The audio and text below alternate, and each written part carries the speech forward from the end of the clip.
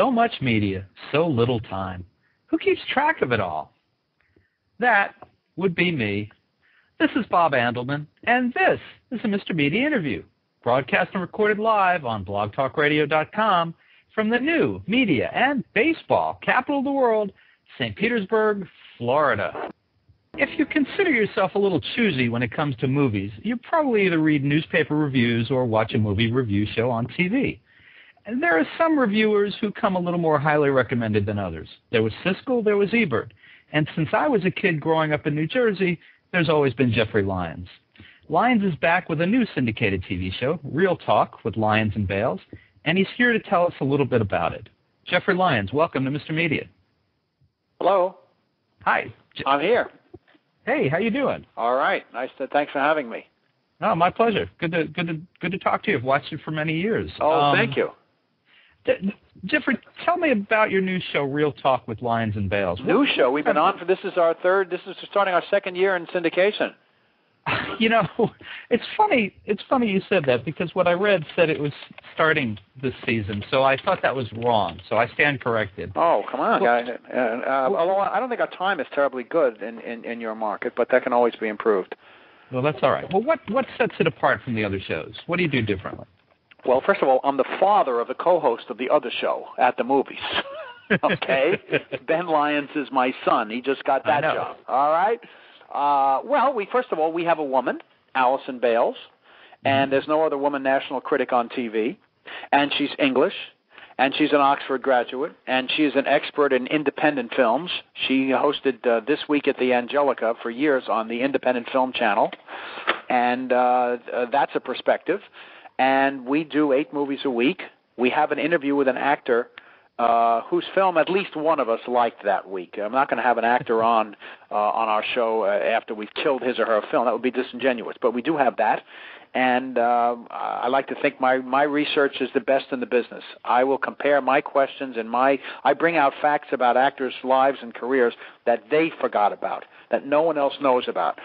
Uh, also, we have the new DVD releases, and we have a thing called Final Take at the end, in which uh, both of us talk about something in the business that either happened that week, or an anniversary coming up, or a trend that uh, either delights us or alarms us.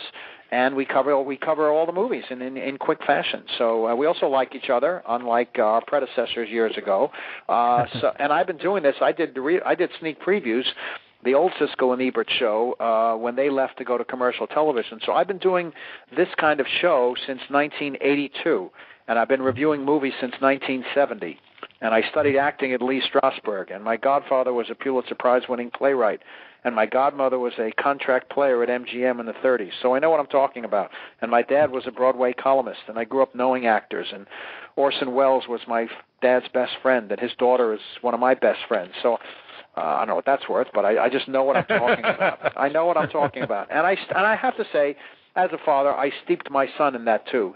Most kids his age don't know or did uh, growing up didn't watch Hitchcock films, for example. He did, so uh, we're both well prepared. And my co-host Allison Bailes is an expert too, and also knows Iranian films. I got in a cab with her once, and she started talking to the cab driver about some film that played here a week and that was a big hit in Iran before the revolution. I mean, for goodness sake, that's that's a, an area that I have no expertise on, and she covers that.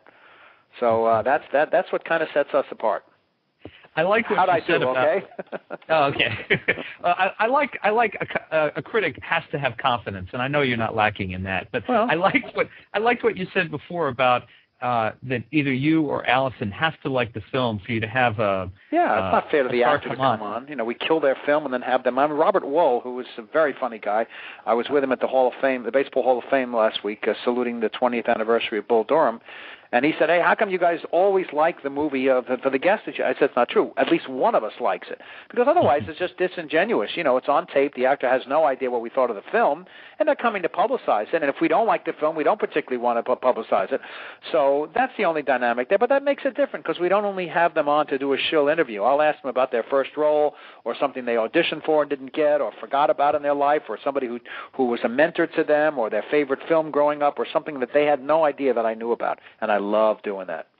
All right. Well, look, you mentioned Robert Wuhl, and one of my favorite uh, guilty pleasures over the years is Hollywood Knights. So, Yeah, yeah. what's the what's the 10 second review on Hollywood Knights? A lot of fun. Robert Wuhl on the way up Very funny guy, very witty, and uh, that that that's one of his uh, one of his favorite roles. He's a very funny guy, and he's very good in Bull Durham. And this thing he's doing now called Assume the Position. Have you seen it? It's Yep. on H. What's that? Yeah, I have. As a matter Yeah. of fact, he came on the show to, to talk about it last year. Yes, it's on HBO, and he's a good buddy of mine. We're, we're, I met him on a plane once about 15 years ago, and we we wound up sitting next to each other, heading out to L.A.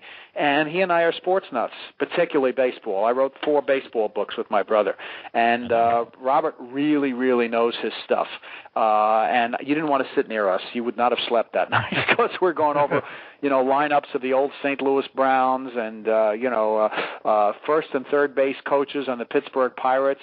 Uh, I can do that, and you know, so it, it's uh, Robert's a good buddy, and uh, his his assume the position is a wonderful, wonderful series about American history. Right. He goes out in front of a classroom. It's a, it's Yeah. a really good.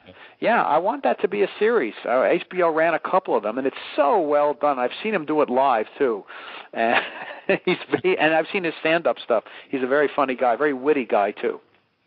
So uh, we only have a little bit of time. Tell me about your son doing uh, the other movie review. Isn't that show. That's got to be a strange? little strange. Yeah, it is strange, isn't it? Isn't that strange? Uh, uh, yeah. Well, uh, he started out on the E Channel. First of all, he was on MTV, and then he started out. He be, he remains on the E Channel as their film critic on Daily 10 and he's uh, contributed to Good Morning America. He'll be doing a piece coming up. That's network number two. He hosts My Family's Got Guts on the Nickelodeon channel. That's network number three. And then he got hired as the uh, successor to Roger Ebert, uh, in effect, on At the Movies. Now, I succeeded Ebert on Sneak Previews back in 1982, and now my son, all these years later, has At the Movies. So he's on, uh, at last count, four different networks talking about movies, and he's well prepared. And uh, his show is almost as good as mine. but I never dreamed all those years. I spent 12 years flying to Chicago while doing New York's WPIX TV. I went to Chicago Right. every two weeks, stayed at my in-laws' house overnight, which is probably why I got the job. They saved on hotel fee for me. And I first did it with Neal Gabler, uh, the author, for two week, for two seasons, and then Michael Medved, the arch conservative uh, pundit. Uh, and we, we, we, we would you you don't want to hear our debates between between takes, but we remain close friends and I did that for for 12 seasons. And now the show is still taped in Chicago. The difference is my son has to fly to Chicago from L.A. every 2 weeks. So there, there, it is. you know, what goes around comes around. And Saturday nights he's in Las Vegas at the Hard Rock Hotel hosting their their party. He's 26 and single in Las Vegas. How did that life escape me? I don't know. Somehow you guys remind me of that Saturday Night Live sketch about the Jamaican family where they're all arguing about who had the more jobs. well, yeah, but uh, he has he has the more jobs. But uh, I hope people watch us first and then, then then compare notes with him. There's room for both of us. I, I I agree. And folks, check your local listings for the day and time of Reel Talk with Lyons and Bailes in your in your neighborhood. And for more fun with Jeffrey Lyons, go to the show's website www.reeltalktv.com.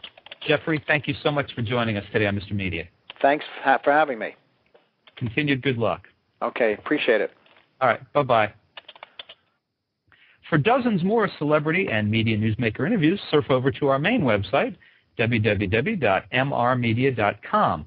That's where you can listen to my earlier conversations with Billy Bob Thornton, Cheryl Hines, Jeff Garlin, Robert Schimmel, Kirk Douglas, and the aforementioned Robert Wuhl, among many, many others.